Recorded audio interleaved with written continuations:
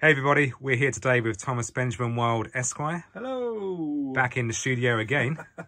Just been laying down some guitars for Tom, and um, what's cooking today, Tom? Oh yeah. So I'm not a good enough guitar player myself.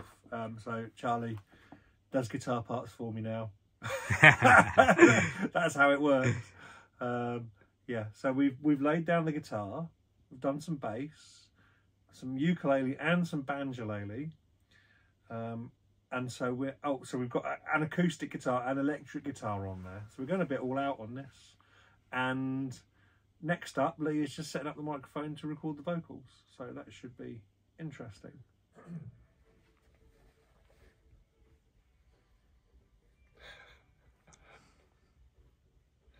I could really use a win today with everything that's going on. Gives a one, two, two, three, four. A